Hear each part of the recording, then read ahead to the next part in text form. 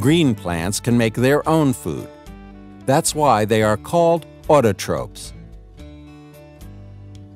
To carry out this complex process, plants use simple inorganic substances like carbon dioxide, water,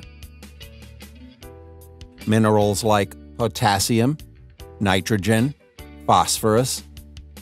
Green plants are the only organisms having the ability to trap energy from the sun to make food.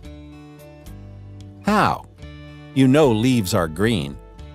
Leaves have the green pigment chlorophyll present in the cell organelle chloroplast that traps solar energy to convert it into chemical energy in the form of carbohydrates.